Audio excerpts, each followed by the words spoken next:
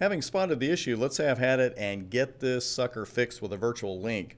Also, I'm glad to be bringing this to you because in my courses, I always love including things where you know, I've bumped into in my NA and my NP studies, and I always like to tell people things that I wish someone had told me at the time. And this lab is going to include something that's been left out of every virtual link document I've ever seen. PDF, book, doesn't matter. It's real world and you're going to get to see it here live in just a moment. But let's go ahead and get our configuration started here. And we can start on router 4. Now the thing with the virtual link is it is, you know, a point-to-point -point virtual link, so it's got to be configured on both ends. You're not just going to configure this on one router. And when you hear that description I just gave you, it sounds like an interface level command, right? You know, you're going to build it through the internet, excuse me, the Ethernet interfaces. Uh, well, that's actually not the case. The virtual link command is kind of hidden uh, because you do a config t, and if you go into router OSPF mode and you do IOS help here, you don't get anything here that looks like a virtual link, and you're not going to get anything at the bottom because the commands stop at the letter T. There are no commands here at this level that begin with the letter V. So the first time you look at this, and I remember this happening to me, it's like, uh, okay, where do I configure a virtual link? Because if you go out to the interface level, you're not going to see it either. Well, what you've got to do is actually start with the area command. And we know we're going to be asked for the area ID as a decimal or IP address, but the thing is, what area do we want to put here? Are we going to put the area that we are extending to, to area 0? Are we going to put the area 34 that's between routers 3 and 4? Or are we going to put area 4 because that's the area that we're having the trouble with right now. And the command, the number that you want to put here is what we call the transit area.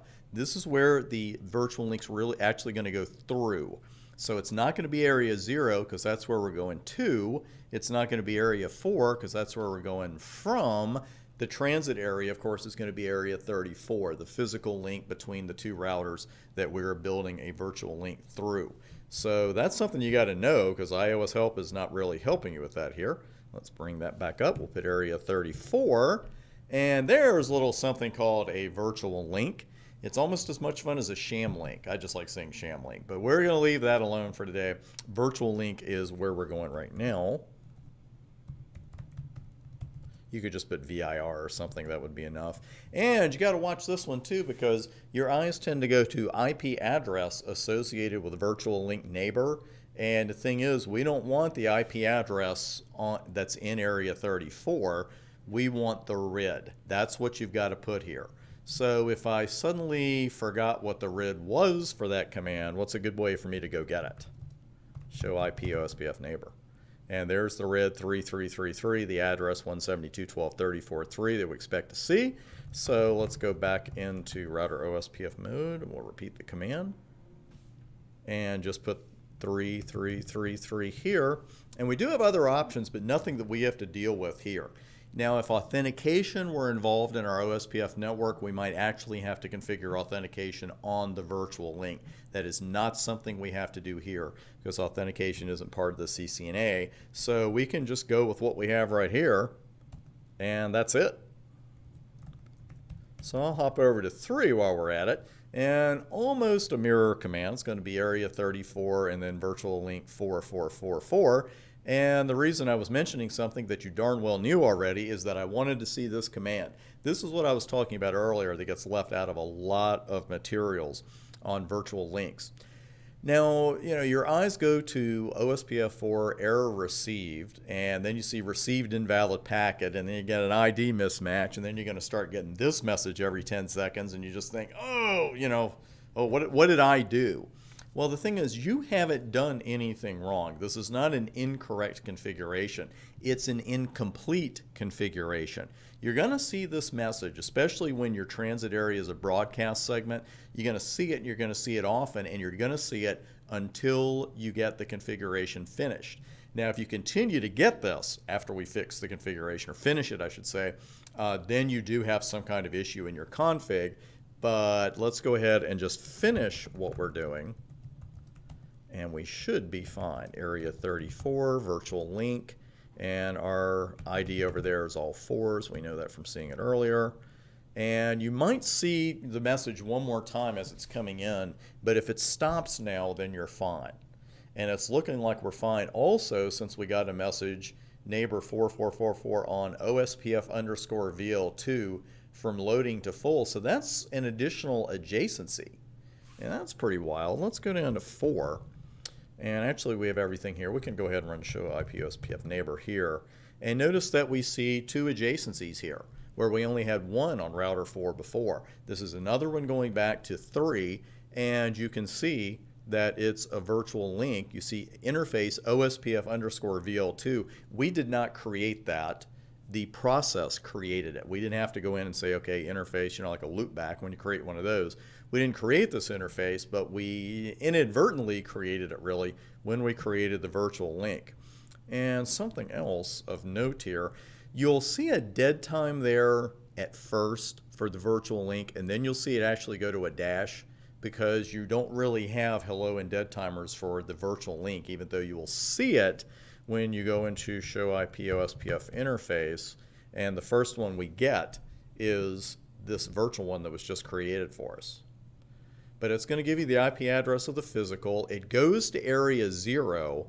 And notice the network type here is virtual link and the state is point to point. So that's where the initial timers come from.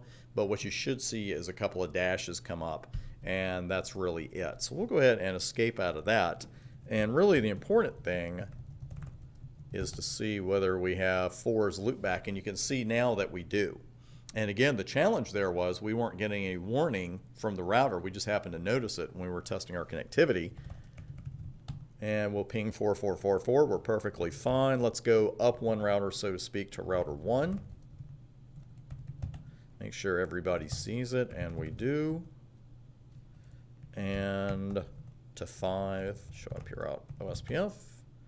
And we do. So let's go ahead and ping there. And we are all set. Our virtual link is an absolute total success. And how you will usually see virtual links on a network diagram is as a dotted line. You tend not to see them as solids uh, as you would physical connections.